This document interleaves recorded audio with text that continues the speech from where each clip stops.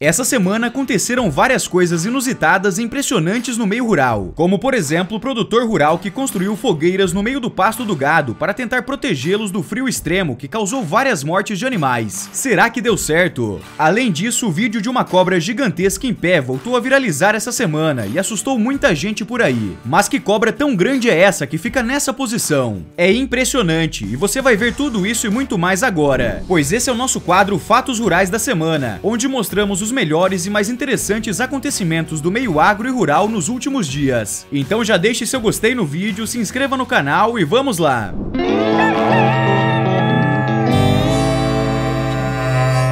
Para começarmos, algo muito inusitado e até engraçado aconteceu essa semana. Um peixe roubou o celular de uma mulher. A mulher estava com o celular na mão tirando fotos quando o peixe voou em direção ao barco e colidiu com o aparelho. O celular caiu no mar e foi perdido. A mulher e seus companheiros tentaram recuperar o telefone, mas não conseguiram. O aparelho foi encontrado no dia seguinte por uma banhista na praia. No entanto, o celular estava danificado e não pôde ser usado. Apesar do prejuízo, a mulher contou ao jornal que ficou feliz de ter conseguido recuperar recuperar o telefone.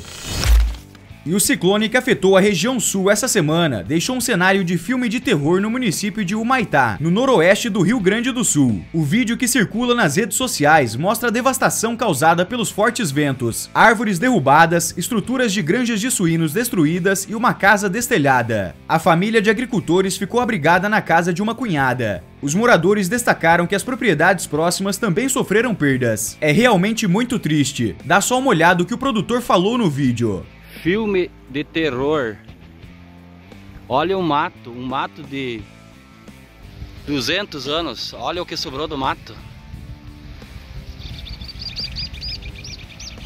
Olha o mato de eucalipto do meu funcionário do outro lado lá.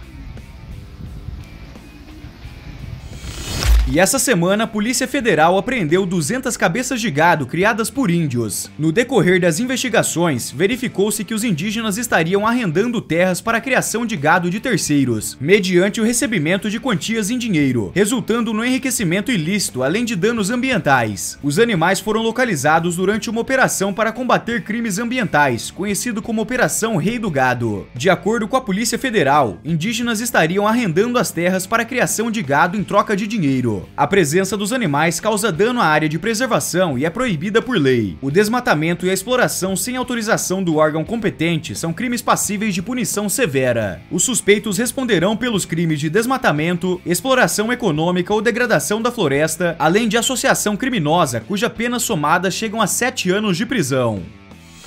E essa semana voltou a circular imagens impressionantes de um produtor rural que acendeu uma fogueira no pasto para tentar aquecer o gado no frio extremo. Isso aconteceu em Itaquiraí, no Mato Grosso do Sul, a 405 quilômetros de Campo Grande. A medida foi tomada para proteger os animais do frio intenso que atingiu todo o Mato Grosso do Sul. O vídeo repercutiu na internet após mais de mil cabeças de gado morrerem de frio no mesmo estado. De acordo com especialistas, a morte dos animais está atrelada a uma severa hipotermia. No vídeo é possível ver várias novilhas em círculos espalhados pelo pasto. Os animais estão se protegendo do frio ao entorno das brasas de fogueira improvisadas pelo produtor rural. O diretor-presidente da Agência Estadual de Defesa Sanitária Animal e Vegetal explica que o gado é mais adaptável ao clima quente e a queda brusca de temperatura deixa os animais mais expostos.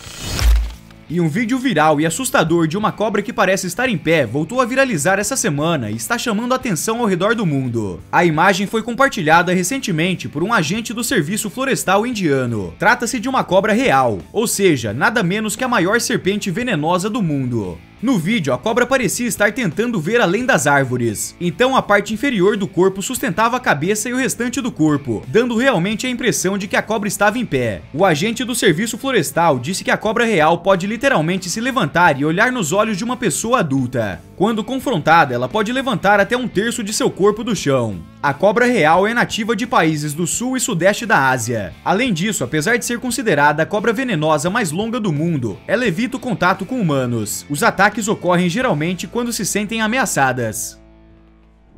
Se você chegou até aqui é porque gostou do vídeo, então não saia sem deixar o seu gostei e se inscrever no canal, isso é muito importante para nós. E deixe aí nos comentários o que você achou. Para mais vídeos incríveis como esse, basta entrar em nosso canal Fatos Rurais, lá tem mais de 500 conteúdos que você vai gostar também. Até o próximo vídeo, tchau tchau!